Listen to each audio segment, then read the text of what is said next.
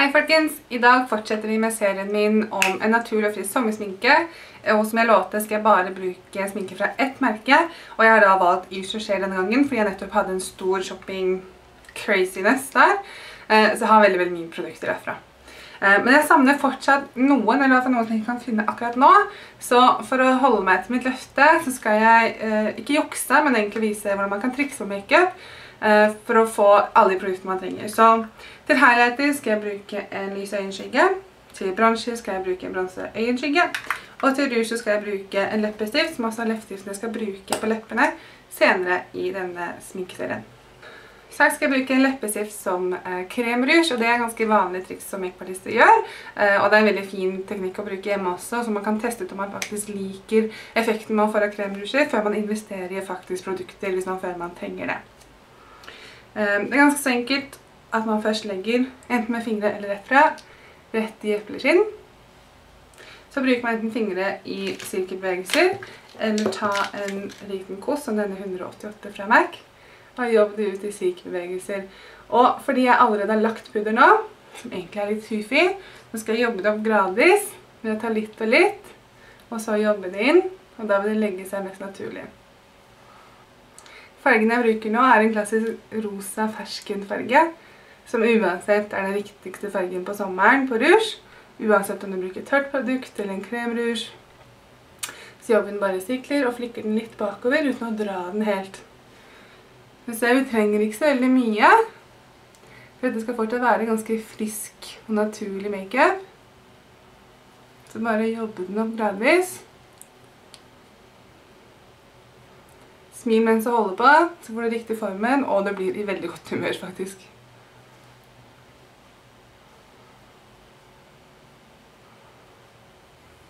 Det fine her nå er jo at rougen min kommer til å matche helt leppene mine som skal senere, så da vet vi at det blir riktig.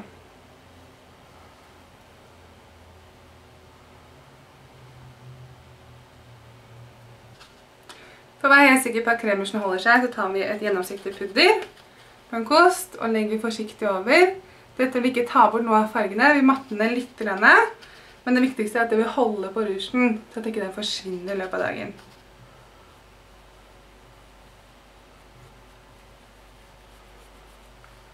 Så går jeg videre på highlighter, og jeg skal da bruke Beige Doré nummer 4 øyenskygge, som er en lys skimrende baseskygge for meg.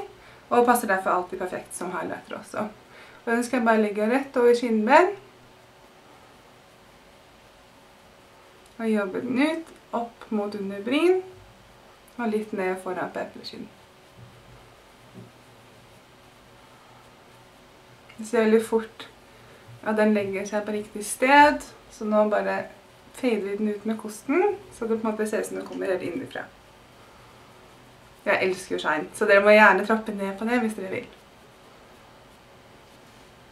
Legger den også rett ned langs nese. Da vil nesa bli litt mer definert og litt rettere. Og selvfølgelig rett over amabuen på leppene.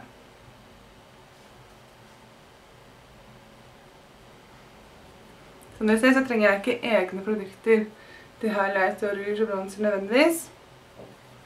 Bare tenke litt kreativt. Slutt er det bronseren, um, og jeg skal ikke ha en veldig mørk bronser, så det passer veldig fint. Som jeg trodde var en øyeskygge, men som faktisk er en rouge. Så det er jo helt perfekt, der kan vi se. Så det er en blush nummer 40, brun doré, som faktisk er i samme serie som den, for begge dette doré, og har syre i seg. Jeg skal, jeg skal begynne å legge den under kinnben. Jeg skal ha den i en full tretallform, jeg vil at størsteparten skal ligge under skinnben.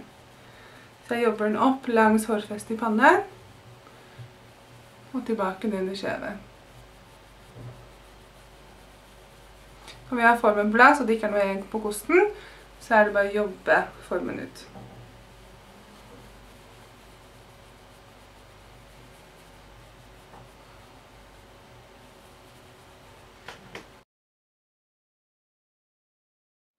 Veldig fine med disse produktene, og når vi jobber såpass um, aktivt som vi gjør, at vi jobber produktene ordentlig godt inn i huden, så er det, vi ser jo shine, vi på en måte vet at det er sminke, men du ser ikke noe produkt utenfor huden, og det synes jeg er veldig, veldig viktig. Så da var del to av denne sminkeserien klar, hvor vi også har fått på plass rouge, highlighter og bronser. Så nå mangler vi bare øyne, og så lepper. Takk for at du tok deg tid til å se denne videoen, og håper likte den, og ha en fantastisk fin dag. Ha det bra!